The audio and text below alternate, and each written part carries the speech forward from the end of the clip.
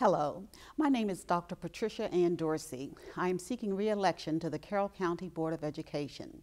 It has been an honor to serve the students, families, staff, and communities of Carroll County as a member of the Board of Education during the 2018 to 2022 term. My education and career experiences prepared me to serve. I received a Bachelor of Science degree from Morgan State College, now Morgan State University, a master's degree from Western Maryland College, now McDaniel College, and a Doctor of Education degree from the University of Maryland College Park. My teaching career began as a third grade classroom teacher at William Winchester Elementary School and continued at Westminster Elementary School.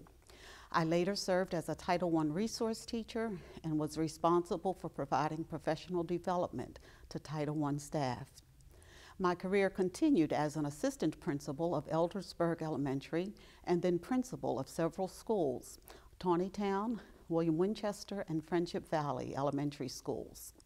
My entire 39-year career was in Carroll County Public Schools. Over the last four years, I gained additional experiences by serving on the 2021 and 2022 Board of Directors for the Maryland Association of Boards of Education, known as MABE.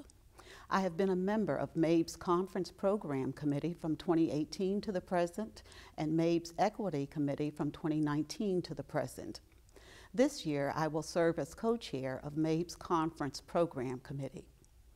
During my term on the Board of Education, there are two major capital projects under construction, namely the Career and Technology Center improvements, which are expected to be completed in July 2024, and the Westminster East Middle School replacement, which is scheduled to be completed before the opening of school in the fall of 2023. Who would have ever imagined the emergence of a worldwide pandemic that had such a profound impact on our lives? Our students faced a learning loss because of the disruption of face-to-face -face learning. The pandemic also intensified mental health issues.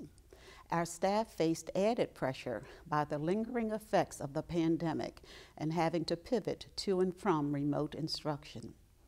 Parents have also been challenged by new and different ways to support their children academically and emotionally during the pandemic.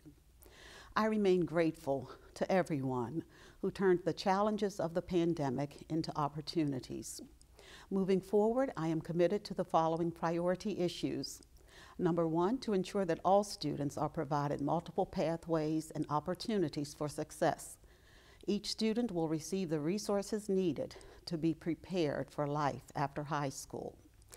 I quote from MABE. For MABE, educational equity in Maryland means providing access to essential academic, social, emotional, and economic supports in order to engage each student in rigorous instruction with appropriate educational resources to achieve their potential, unquote.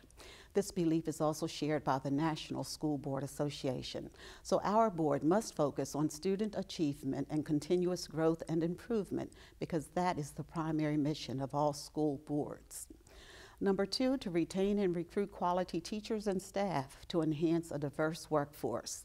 The goal is to create and sustain staff that reflects the racial and ethnic makeup of the student body.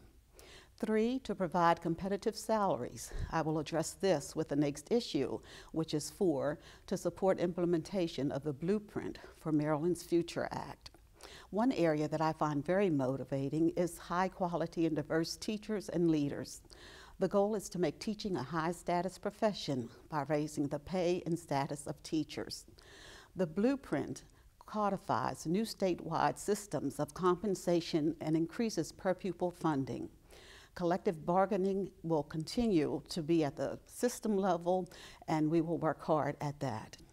Leadership matters. I possess the essential skills and background necessary to fulfill the governance duties as a member of the Board of Education. Please vote for Patricia Ann Dorsey to have a second term to serve the students, staff, and communities of Carroll County. Your support is deeply appreciated. Thank you.